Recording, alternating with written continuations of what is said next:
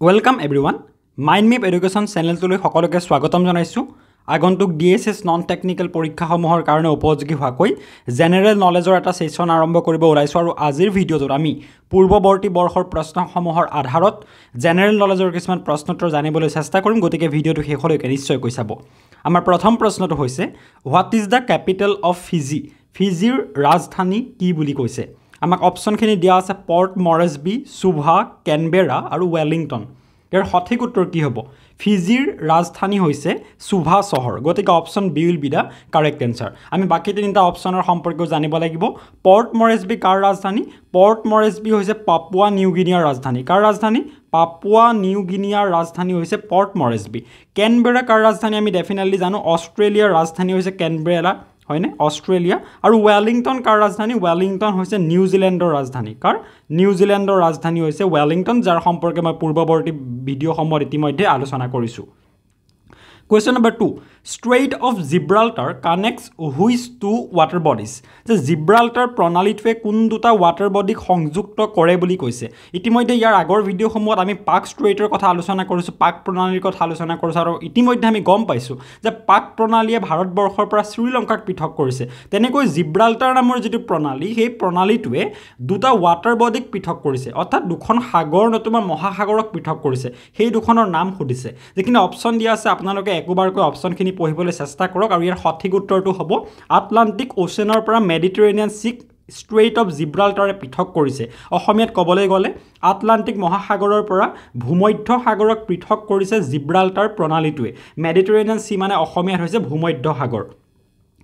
Question number three who was the last ruler of Shunga dynasty Shunga বংশৰ শেষৰগৰাকী ৰজা কোন আছিল? আপোনালোকে যদি পূৰ্বৱৰ্তী বৰ্ষৰ প্ৰশ্ন কাকতসমূহ চাই দেখা পাব বিভিন্ন বংশসমূহৰ প্ৰতিষ্ঠাপক আৰু শেষৰগৰাকী সম্ৰাটৰ সম্পৰ্কে প্ৰশ্ন সোধে অৰ্থাৎ ফাউণ্ডাৰ আৰু লাষ্ট ৰুলাৰ সম্পৰ্কে আমি বংশসমূহৰ কথা জানিব লাগিব।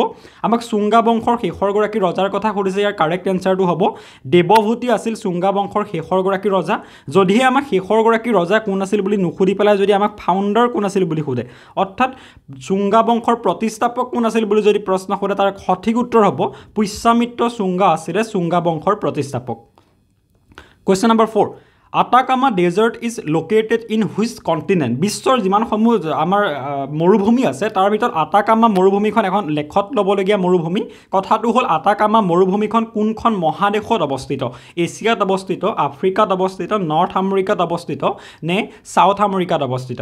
প্ৰশ্নটোৰ সঠিক উত্তৰ হ'ব আটাকামা ডেজাৰ্টখন আমাৰ ছাউথ আমেৰিকাত অৱস্থিত দক্ষিণ আমেৰিকাত অৱস্থিত। যদিহে প্ৰশ্নটো আমাক কণ্টিনেণ্ট বুলি নুসুধি পেলাই যদি কাণ্ট্ৰি বুলি সোধে অৰ্থাৎ আমাক যদি দেশখনৰ কথা সোধে তেতিয়া এতিয়া আপোনালোকে মনত ৰাখিব আটাকামা মৰুভূমিখন চিলি নামৰ দেশখনত আছে। দক্ষিণ আফ্ৰিকা মহাদেশৰ চিলি নামৰ দেশখনত আটাকামা মৰুভূমি অৱস্থিত। Question number five which of the following city is located on the bank of river Narmada Narmada নদীৰ পাৰত তলৰ কোনখন চহৰ অৱস্থিত বুলি কৈছে। আমাৰ চেনেলটো ইতিমধ্যে ফ'ল' কৰি থকা সকলোৱে গম পায়। আমি ভাৰতীয় চহৰসমূহ তথা বিশ্বৰ লেখত ল'বলগীয়া চহৰসমূহ কোনখিনি নদীৰ পাৰত অৱস্থিত সেই সম্পৰ্কে দুটাকৈ ভিডিঅ'ত ইতিমধ্যে আলোচনা কৰিছোঁ। আমাক প্ৰশ্ন সুধিছে নৰ্মদা নদীৰ পাৰত অৱস্থিত চহৰখনৰ বিষয়ে? প্ৰশ্নটো সঠিক উত্তৰ হ'ব মধ্যপ্ৰদেশৰ জবলপুৰ নামৰ চহৰখন নৰ্মদা নদীৰ পাৰত অৱস্থিত। Question number six Kuno national park is located in which state Kuno ৰাষ্ট্ৰীয় উদ্যানখন ভাৰতবৰ্ষৰ কোনখন ৰাজ্যত অৱস্থিত বুলি কৈছে? কাৰেণ্ট এফেয়াৰ্ছ হয় প্ৰশ্নটোৰ কাৰণ ইতিমধ্যে কোনো নেশ্যনেল পাৰ্কলৈ আফ্ৰিকাৰ পৰা চিতা অনা হৈছে। আপোনালোকে গম পায় কেইদিনমান পূৰ্বে। প্ৰশ্নটো হ'ল কোনো নেশ্যনেল পাৰ্ক কোনখন ৰাজ্যত আছে? প্ৰশ্নটো সঠিক উত্তৰ হ'ব মধ্যপ্ৰদেশত আছে কোনো ৰাষ্ট্ৰীয় উদ্যান। Question number seven which of the following is not a kharif crop তলৰ কোনটো এটা খাৰিফ শস্য নহয় বুলি কৈছে। আপোনালোকে হয় বুলি কৈছে নে নহয় বুলি কৈছে এইটো মন কৰিব কুৱেশ্যনটো ভালকৈ। এতিয়া খাৰিফ শস্য মানে কোনখিনি কথা কোৱা হৈছে আপোনালোকে ডেফিনেটলি জানে। যিখিনি শস্য মে'ৰ পৰা জুন মাহত খেতি কৰিবলৈ আৰম্ভ কৰা হয় সেইখিনিকে খাৰিফ শস্য বুলি কোৱা হয়। আৰু খাৰিফ শস্য বুলি কোৱাৰ লগে লগে ৰাইচ পৰিব তাত মেইজ পৰিব তাত কটন পৰিব। কিন্তু mustard is not a kharif crop কাৰণ মাষ্টাৰ্ডৰ আমি খেতি কেতিয়া কৰোঁ? অক্টোবৰ নৱেম্বৰ মাহত কহা কৰা হয়। গতিকে mustard is a rabi crop. মাষ্টাৰ্ডটো কি? মাষ্টাৰ্ড হৈছে এটা ৰবি শস্য কিন্তু ৰাইচ মেইজ আৰু কটন হৈছে খাৰিফ শস্য। Question number eight national stock exchange of India is located in এতিয়া যিসকলে শ্বেয়াৰ মাৰ্কেটৰ কথা অলপ হ'লেও গম পায় তেওঁলোকে নেশ্যনেল ষ্টক এক্সচেঞ্জৰ কথা ডেফিনেটলি শুনা পাইছে যাক আমি শ্বৰ্ট ফৰ্মত এন এছ চি বুলি কওঁ। ভাৰতবৰ্ষত দুটা আছে এটা হ'ল এন এছ চি এটা হ'ল B S C N S C মানে national stock exchange B S C মানে হৈছে বম্বে ষ্টক এক্সচেঞ্জ যাৰ জৰিয়তে কোম্পানীসমূহৰ শ্বেয়াৰৰ কিনা বেচা কৰা হয়। এতিয়া কথা সুধিছে ভাৰতবৰ্ষৰ যি নেশ্যনেল ষ্টক এক্সচেঞ্জ তাৰ মুখ্য কাৰ্যালয় ক'ত অৱস্থিত? প্ৰশ্নটো সঠিক উত্তৰ হ'ব মুম্বাইত অৱস্থিত। ক'ত অৱস্থিত? মুম্বাইত অৱস্থিত নেশ্যনেল ষ্টক এক্সচেঞ্জৰ কাৰ্যালয়। Question number nine what is the national tree of India ভাৰতবৰ্ষৰ ৰাষ্ট্ৰীয় গছ কি বুলি কৈছে? সহজ লগা প্ৰশ্ন কিন্তু সহজ সহজ প্ৰশ্নবোৰ বহু ক্ষেত্ৰত ভুল কৰা হয়।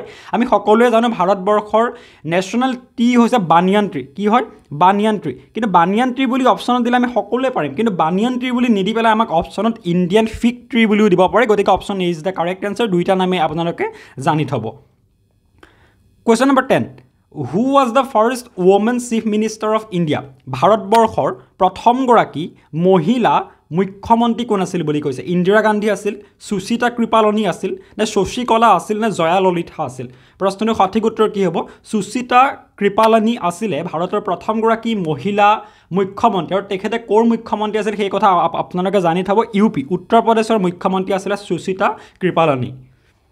Question number eleven which of the following is the oldest central bank in the world বিশ্বৰ আটাইতকৈ পুৰণা চেণ্ট্ৰেল বেংক কোনটো বুলি কৈছে? চেণ্ট্ৰেল বেংক মানে কেন্দ্ৰীয় বেংকৰ কথা কোৱা হৈছে। ভাৰতবৰ্ষৰ চেণ্ট্ৰেল বেংক হৈছে ৰিজাৰ্ভ বেংক অফ ইণ্ডিয়া কিন্তু ৰিজাৰ্ভ বেংক অফ ইণ্ডিয়া বিশ্বৰ আটাইতকৈ পুৰণি চেণ্ট্ৰেল বেংক নহয়।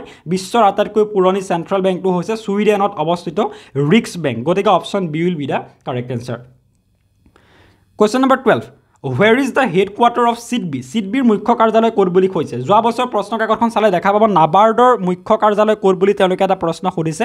গতিকে আমি চিট বিৰ মুখ্য কাৰ্যালয় জানি থোৱাটো ভাল যে চিট বি মানে কি? প্ৰথমতে সেই কথাটো জনাই দিব বিচাৰিছোঁ। চিট বি মানে হৈছে small industries development small industries development bank of India bank of India অসমীয়াত ক'বলৈ গ'লে মই একজেক্টলি পাহৰিছোঁ। ভাৰতৰ ক্ষুদ্ৰ উদ্যোগ তেনেকুৱা বেংক কিবা হ'ব। ইয়াৰ মুখ্য কাৰ্যালয় ক'ত বুলি কৈছে? চিডবিৰ মুখ্য কাৰ্যালয় অৱস্থিত লক্ষ্ণৌ চহৰত। Option A will be the correct answer question number thirteen who wrote the historical text Rajatarangini Rajatarangini নামৰ ঐতিহাসিক গ্ৰন্থখন কোনে ৰচনা কৰিছিল? শূদ্ৰকা বানভট্ট কালিদাস নে কালহানা? প্ৰশ্নটোৰ সঠিক উত্তৰ কি হ'ব? ৰাজতৰংগিনী নামৰ গ্ৰন্থখন ৰচনা কৰিছিল Kalhana. Option D will be the correct answer question number fourteen Bagh caves are located in caves মানে গুহা আপোনালোকে জানে কেভছ মানে কি? কেভছ মানে হৈছে গুহা। এতিয়া বাঘ কেভছ ক'ত অৱস্থিত? বাঘ গুহাসমূহ ক'ত অৱস্থিত বুলি কৈছে? প্ৰশ্নটোৰ সঠিক উত্তৰ কি হ'ব? বাঘ কেভছসমূহ মধ্যপ্ৰদেশত অৱস্থিত। ক'ত অৱস্থিত? মধ্যপ্ৰদেশত অৱস্থিত। তেনেকুৱা ইম্পৰ্টেণ্ট আন গুহাসমূহ কি কি আছে আমি জানো? অজন্তা গুহাৰ কথা গম পাওঁ। অজন্তা ক'ত অৱস্থিত? যদি প্ৰশ্ন সোধা অজন্তাৰ গুহাসমূহ ক'ত অৱস্থিত? মহাৰাষ্ট্ৰত অৱস্থিত। ক'ত অৱস্থিত? মহাৰাষ্ট্ৰত অৱস্থিত। প্ৰশ্ন এনেকৈ সুধিব পাৰে অজন্তাৰ যি গুহাসমূহ সেয়া কোন কোন নদীৰ পাৰত অৱস্থিত? তেতিয়া কাৰেক্ট এনচাৰ হ'ব ৱাঘৰা নদীৰ পাৰত। কাৰ পাৰত? ৱাঘৰা নামৰ নদীখনৰ পাৰত অজন্তাৰ গুহাসমূহ অৱস্থিত।